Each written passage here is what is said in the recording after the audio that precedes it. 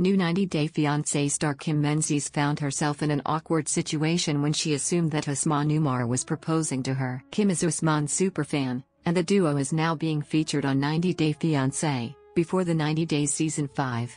While the San Diego native is madly in love with Usman and desperately wants to be his girlfriend, the Nigerian rapper wants to take things slow. The couple decided to spend some quality time in Tanzania to see if they will take their relationship to the next level. In the last few episodes of 90 Day Fiancé, before the 90 days, TLC viewers saw Kim fly to Zanzibar, Tanzania, for her two week trip. She booked herself a honeymoon suite hoping that Usman might give in and agree to stay in her room. The 50 year old reality star even pampered the musical artist with super expensive gifts a new MacBook Pro and a PS5 gaming system. Usman was grateful for Kim's presence, but he still chose to spend the night in his own room. But he now wants to give Kim some gifts that he got from Nigeria. A preview for the next episode of the 90 Day Fiancé spin-off shows that Usman invited Kim to his room after meeting the gorgeous local singer Rosary. The Nigerian reality star asked his potential girlfriend to close her eyes and keep her hands down. Kim closed her eyes and asked Usman if he was proposing to her. She said,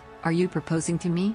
Really, I will die. Usman replied, I didn't say you should give me your hand. I said close your eyes. Kim still thought Usman would propose to her, and she said, my heart is beating so fast. I'm sweating and everything. Jesus. Usman who is also known as Soja Boy, then presented Kim with the beaded necklace he had brought from Nigeria. He tied the necklace around Kim's neck and gave her two beautiful bracelets. The 90-day fiancé star loved the jewelry that Usman gifted her but she felt awkward for thinking that he was going to propose to her. She said, It is absolutely insane. I would think Usman was gonna propose to me on the second date. Many 90 Day Fiancé viewers are feeling embarrassed for Kim. A fan said, This old lady done lost her mind proposing. Girl, he playing you for TV time. Another chimed in, she is too embarrassing to watch in every way. There is no doubt Kim looked desperate in this scene, but it is possible that she got certain hints from Usman that made her believe he could propose to her. He told the stunning Tanzanian musician Rose that he sees Kim as a potential wife, and he could see himself getting married to her. Still,